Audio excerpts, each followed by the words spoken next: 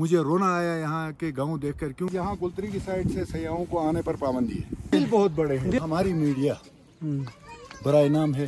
जो देखें, यहाँ पर अभी तक बिजली नहीं, यहाँ अभी तक नेटवर्क की सहूलियात मौजूद नहीं, यहाँ पर सेहत का कोई सहूलियात मौजूद नहीं, यहाँ पर एजुकेशन की कोई सहूलियात नहीं। अभी दिन अपनी टांगों में ज़ोर पैदा करें और यहाँ आए। असलम नाजीन मैं हूँ आपका मेज़बान इब्राहिम रही और आप देख रहे हैं शमा टीवी। नाजमत हम इस वक्त मैं मौजूद हूँ कराबोश गुलतरी कराबोश में और मेरे साथ आज एक शख्सियत मौजूद हैं। आप सब उन्हें सोशल मीडिया के तवसत से जानते हैं। बहुत मरूफ व्लॉगर हैं, सोशल मीडिया में काफ़ी एक्टिव रहते हैं और आपको बहुत खूबसूरत खूबसूरत जगहें गिलगित बल्तिस्तान की उनकी विज़िट कराते रहते हैं। तो मेरे साथ मौजूद हैं आज फिदा अली सुल्तानी साहब। बहुत शुक्रिया फिदा अली भाई, आप तशरीफ़ लाए हमारे इलाके में। कैसा लगा आपको सबसे पहले तो हमारा इलाका? चलते चलते ही बात करते हैं। जी इब्रार भाई बहुत बहुत शुक्रिया। ये इलाका बहुत ही खूबसूरत जन्नत नज़ीर वादी कहूँ तो कम नहीं होगा ये इलाका बहुत ही खूबसूरत है लेकिन यहाँ जो सहूलियात न होने के बराबर है। हम्म, अगर यहाँ सहूलियात हों तो ये भी किसी खूबसूरत जो इलाके हैं उससे कम नहीं है ये। जन्नत नज़ीर वादी है। यहाँ का हर इलाका में देख चुका हूँ आठ से दस जो यहाँ पर गाँव हैं बहुत ही खूबसूरत लेकिन गाँव यहाँ पर वेरान हो चुके हैं। मुझे रोना आया यहाँ के गाँव देखकर क्योंकि यहाँ पर सहूलियात नहीं है कुछ भी नहीं है। आबादी होती तो बात कुछ और होती बिल्कुल कुछ और होता है। इसकी खूबसूरती खूबसूरती और ज़्यादा इसमें इजाफा हो जाता है। यहाँ आप देखें सबसे जो इस दौर जदीद में जो सहूलियात है यहाँ पर नेटवर्क की सहूलियात वो यहाँ के लोगों को मुयसर ही नहीं। और बच्चे ऐसे भी हैं भाई कि उनको नेटवर्क का पता भी नहीं नेटवर्क नेटवर्क किस चीज़ को कहते हैं पता ही नहीं है और यहाँ इमारतें आपको बड़ी बड़ी नज़र आएँगी सरकारी लेकिन यहाँ पर ना आपको टीचर नज़र आएगा ना आपको डिस्पेंसर नज़र आएगा। यहाँ पर कोई सहूलियात नहीं है। जानवरों जैसा सलूक हमारे साथ यहाँ पर यहाँ के लोगों के साथ जो है गवर्नमेंट कर रही है। तो मैं फिर भी एक दफ़ा अपनी सरकार जो है यहाँ सूबाई हुकूमत के ज़िम्मेदारों से ये कहूँगा कि खुदारा खुदारा इन इलाकों की तरफ़ देखें। ये जन्नत नज़ीर वादियाँ हैं। यहाँ इन इलाकों में अगर आप रोड दे दें अच्छा सेहत की सहूलियात दे दें दे अच्छा एजुकेशन की सहूलियात दे दें नेटवर्क की सहूलियात दे दें और यहाँ ये सियाहती पॉइंट है। हम्म, ये खूबसूरत देखें हर तरफ़। हरियाली हरियाली है। फूलों की कालीन बिछी हुई है हर तरफ़। बेशक। आप देखें कुदरत के खूबसूरत मनाजिर आपको यहाँ देखने को मिले मिलेंगे। मैं सयाहों को भी रिकमेंड करूँगा कि यहाँ आए और इन खूबसूरत नज़ारों को इंजॉय कीजिए। अच्छा देखें। अस्तौर में और स्कर- गुलतरी में करापोश में आप आए हैं। जी। तो क्या किस चीज़ में खासा डिफरेंस देखते हैं? क्या वहाँ पसमानदगी तो वहाँ पर भी है। हम्म, वहाँ पर भी हुकूमत की तरफ़ से कोई तवज्जो नहीं है। लेकिन यहाँ हद से ज़्यादा यहाँ पर कोई तवज्जो नहीं है।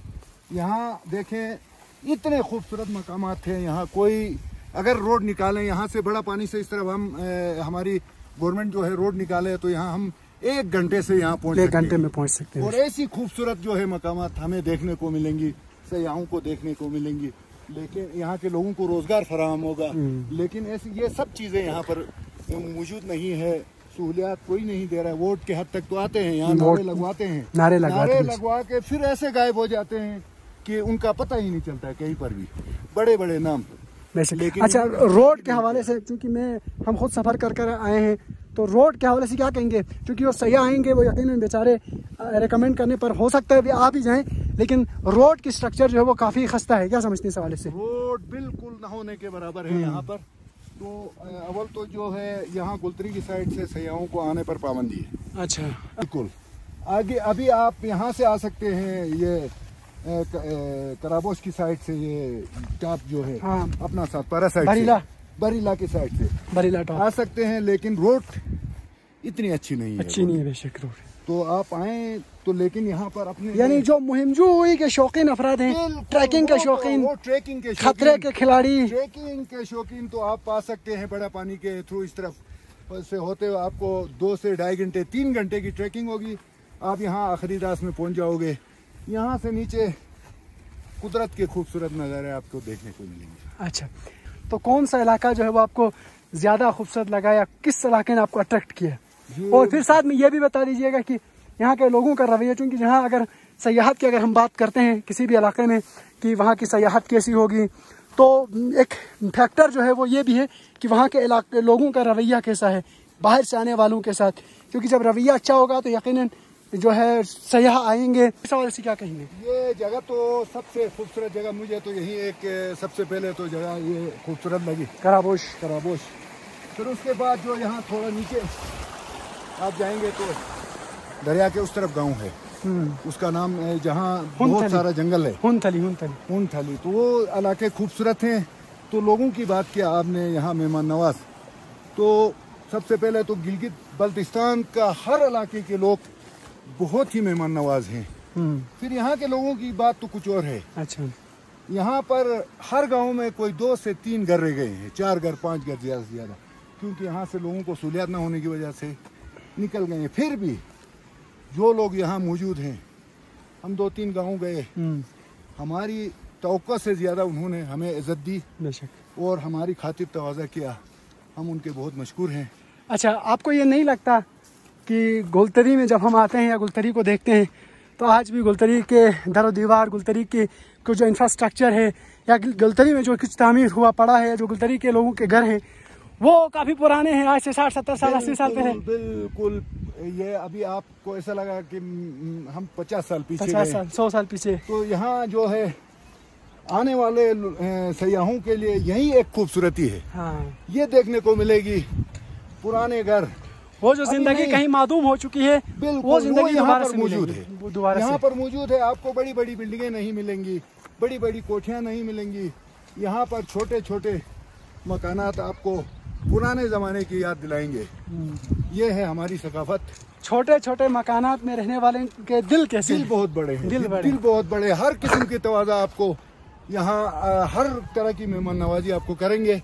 यहाँ के लोग बहुत ही ज़्यादा मेहमान नवाज़ हैं। हम्म। मैं उनका एक दफ़ा फिर शुक्र शुक्रिया अदा करता हूँ क्योंकि उन्होंने हमारी अच्छी खातिर तवाज़ा अच्छा फिजाली भाई आपको ये देखकर हैरत होगी कि जितने भी यहाँ पर घर बने हुए जब हम छोटे होते थे जब हम बच्चे थे तब भी ये गलियाँ ये सब कुछ वैसे का वैसा था और आज भी जो है वैसा का वैसा है कुछ नहीं बदला। जैसे आपने कहा कि ये भी एक खूबसूरती ही है कि चीज़ें नहीं बदली।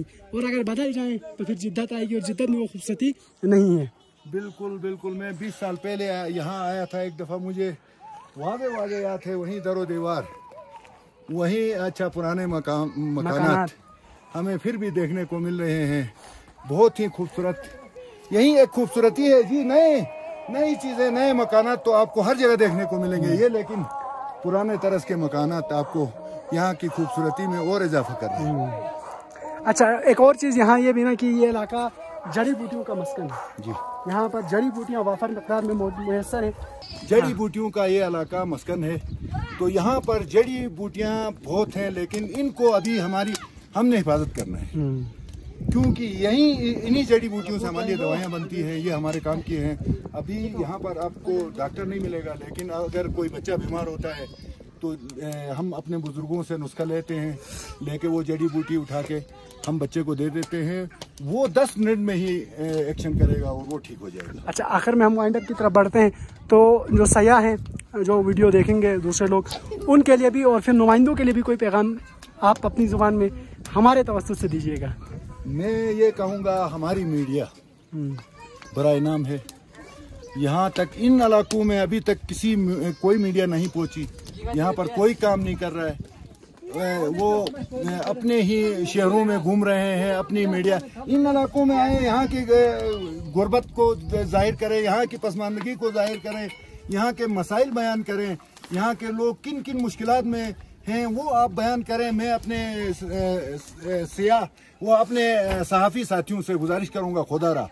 खुदारा, आप तरस खाएँ, ऐसी इलाकों में आएँ और यहाँ के जो मसाइल, यहाँ की मजबूरियाँ जो देखें यहाँ पर अभी तक बिजली नहीं यहाँ अभी तक नेटवर्क की सहूलियात मौजूद नहीं यहाँ पर सेहत का कोई सहूलियात मौजूद नहीं यहाँ पर एजुकेशन की कोई सहूलियात नहीं।